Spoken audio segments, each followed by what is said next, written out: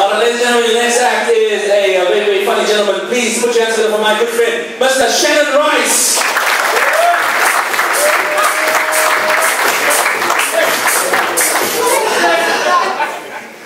Hello, white people, Russia. It's like it's Australia and the rest of the world. It's brilliant. So I've just reached, uh, I've reached a milestone in my life. Um, I just turned 30. Um, It is quite a milestone. My friends and family are rather, they're, they're really excited because I've beaten AIDS. but this is fun just being skinny though. Like if you're an average weighted person, if you had to have a head-on collision in a car, normally you would fly through the windscreen. Being skinny, I'm through the air vents. Chilling the radiator.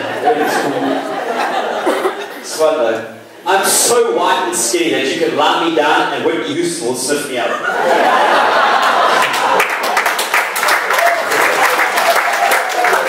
Still skinny, man.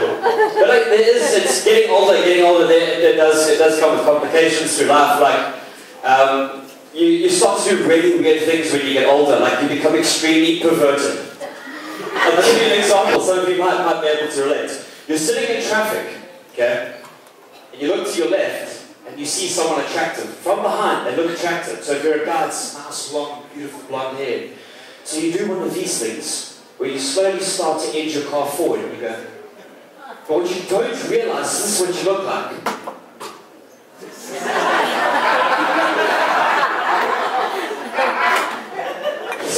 It's really weird. But I, I still I still go to clubs. I still go to clubs. But I'm not the cool, young, attractive dude in a club anymore. No, must move, center of attention, disco inferno. I'm now the creepy old dude sitting in the back of the brand new coke.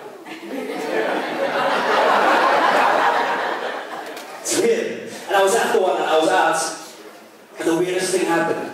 There was some girl who pointed over to me, she was pointing between me and her friend, and she went, Jesse, your dad's here! Jesse, your dad's here! I was, so Home that night. There's something thrilling about your first kidnapping. It's fun, it's fun, it's fun being old. To a certain extent though. But you do weird things when you get older. Like, I don't know how many of you guys do this. Like, yeah, I go to Spar, I not to pick up chicks. I, go to Spar, Spar and I feel every loaf of bread until I find the freshest one. Does anybody else do this besides me? You sit there, feel every single loaf, all 20 of them until you take the last one home. I'm there the one day and I'm feeling, and I'm feeling, I look over to my right and there's some old guy in a gown or sitting in stokies. And he's going, and then you realise that's you in 30 years time. You're the old guy in stokies. Well, I don't know, how did, how did this guy get you? He was with no one. He was with no one. He's got walking stick just feeding bread. How did he get you? Did he like the bus lane in his wheelchair? Park his car with paraplegic parking like the ANC. Just put it in.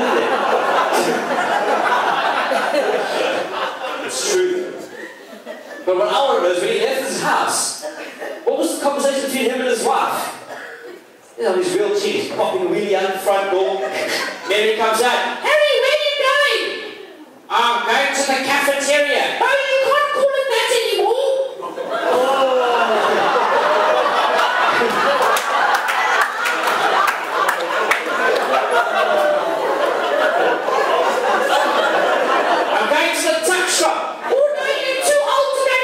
worship